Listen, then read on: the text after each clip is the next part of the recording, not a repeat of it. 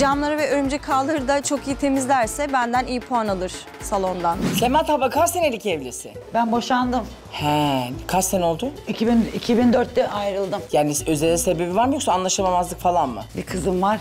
İlk eşimden. Baba zoruyla evlendirildim. Rahmetli nur içinde yatsın. Ha isteyerek evlenmedin. O da çok iyi bir adamdı. E niye peki seni öyle istemeden evlendirdin? Ya e, o işte hani eskiden derler ya hani kızım rahat edecek orada İstanbul'daydı onların yerleri. Bariyetli mi? Bariyetli bağ bahçeleri çok vardı onların karanfilcik yaparlardı etilerdi küçük armutlukta. Eskiden o köprü olmadan öncesini ben biliyorum. O, o arsalar araziler hep onların da 34 dönüm arazileri vardı orada. Hani kızım rahat eder diye düşündü. Rahat ettin mi peki? Hayır etmedim. Niye etmedin? Ama şöyle bir şey var bir de bir de işin içinde intikam var. Nasıl intikam var? Şimdi benim kayınvalidem, ilk kayınvalidem babamın akrabası. Babamı seviyormuş. Bohçasını almış babamın peşine gelmiş. Senin kayınvaliden Evet. normalde seni babanı seviyormuş. Evet. Daha önce babana ka- kaçmış. Evet babama kaçmış. Babam da onu kabul etmemiş, geri göndermiş. Ben seni sevmiyorum, sen kime sordun da geldi, geldin demiş. Yalnız sormadan kaçmak da ne büyük cesaret. Seviyormuş işte, yengesiyle beraber gelmiş. Babam demiş ki ben seni sevmiyorum, sen beni geldin ama... Bana sordun Benim mu ki? gönlüm sana yok. Bunu geri göndermiş. Kadın da yememiş, içmemiş. İşte ben evleneceğim de oğlum olacak da bunun kızı olacak da ben gidip bunun kızını isteyeceğim de alacağım da oğluma da. Resmen dizi Plan- senaryosu. Evet, evet, evet. Yani inanılmaz. Sanki böyle yememiş, içmemiş, oturmuş. Peki baban plan niye seni onlara vermiş? Babam, babam diyor ki rahmetli dedi ki benim hiç aklıma gelmedi dedi. Yani ben daha çok şey düşündüm dedi. Hani ben bunu size söylemedim ama dedi. Hani daha çok şey düşündüm. Hani beni seviyordu. Hani benim kızıma gözü gibi bakar.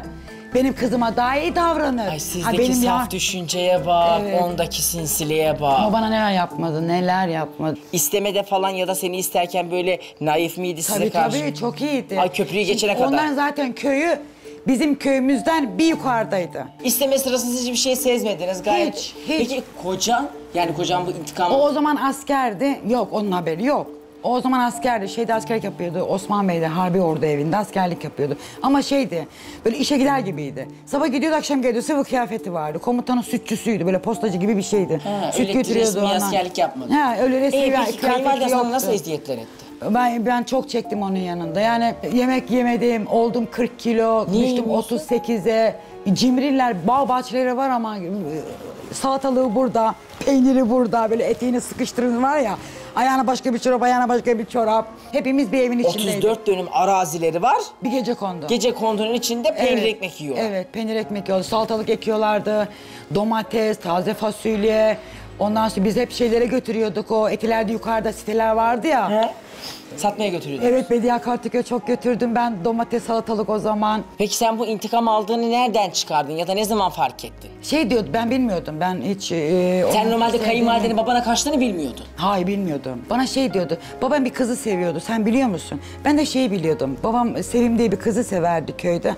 da maşallah bir çapkın Ama adammış. benim babam çok yakışıklı bir adam. Halasının kızı mıydı neydi onu severmiş herhalde babam. Ben de evet diyordum. Bunun benim kayınvalidem adı da e, Şadiye. Onun adı da Sevim. Şimdi diyorum ki ya Sev mi şey mi? Ha, tam hatırlayamam ama diyorum ya çoğu yanımda bak, anlatıyor. kendini hatırlattın. Evet kendini hatırlıyor. Aa öyle mi diyor konuşuyorlar mıydı?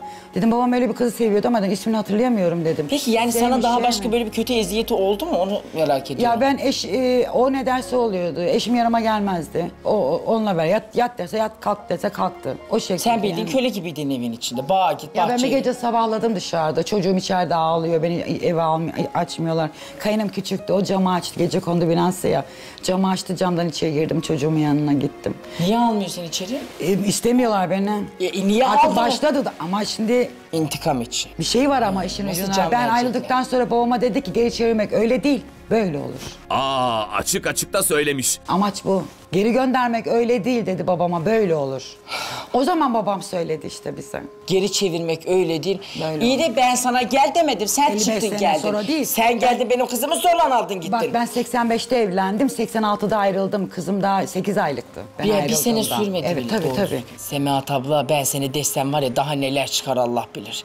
Semahat ablanın film gibi hayat hikayesi birazdan Ama ben şu... sana bir şey söyleyeyim. Ben çok o, o onları hiç aklıma getirmiyorum. Ya sen gamsız Ben birisin hayata aslında, bak. biliyor Gamsız musun? değilim ya öyle deme bana. Gamsız Hayır, gamsızlık değilim. kötü bir şey değil. Yani dertlerini düşünmüyorsun, içine atıyorsun. E, içime atıyorum ama yani ben hani dışa vurmak istemiyorum. İnsanlara çok da hani söylemek de istemem, anlatmak da istemem. Sana onun, yani için, onun için şunu yaşlanmıyorum. ömrümde ilk defa duydum. 54 sene sonra geri göndermek öyle, Öyle değil böyle. böyle olur.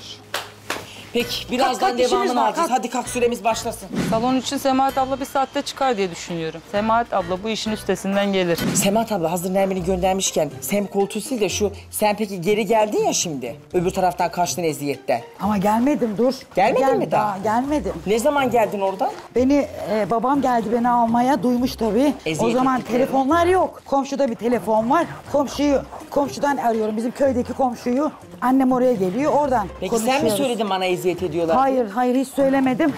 Bizim komşunun ben yazmıştım kağıdı oraya bırakmıştım unutmuşum. O aramış annemleri. Süreyi durdurdum Kadir. Az, az süren durdu, süren durdu, süren durdu. Demiş ki kızın kızınızı alın buradan. Evladınız çok kötü durumda alın onu. Çünkü böyle ip çöp kalmıştım. Bir şey yemiyorsun, sürekli iş yapıyorsun. 38 e, 38 kilo düşmüştüm en son. Bir çocuk kilosundaydım yani. Sonra e, tabii annem babama söyledi. Babam vicdan azabı duydu. Onlar beni almaya geldi. İstanbul'dayken ilk babanı gördüğün ne hissettin? Ay dünyalar benim oldu. Çünkü orada tutsak gibiydin, babanı görünce bir özgürlüğe Evet. kavuşmuş gibisin. Evet çok sevim, çok mutlu oldum. Sonra babam dedi ki tamam kızım hadi gidelim dedi. Kaynanana bir şey demedi mi siz bu kıza burada? Ona hoş geldiniz falan. Hiç onlarla hiç muhatap olmadı babam. Sadece ben koş. Zaten onlar o babamı geldiğini görünce ona tarlaya gittiler. Görümcemle beraber tarlaya çıktılar. Biz babamla yalnız kaldık evde. Ha, ee? Ondan babam dedi bana kalk, kalk kızım gidelim. Dedim yok baba dedim. Sonra babam gitti. Ondan sonra halam duymuş. Samsun'da halam var. Halam geldi. Bana bende kalacaksın. Baban kabul etmezse ben ediyorum gel gidelim dedi. Dedim baba ben halam ben kendi evimde kalmak istiyorum. Ben çocuğumu bırakamam dedim.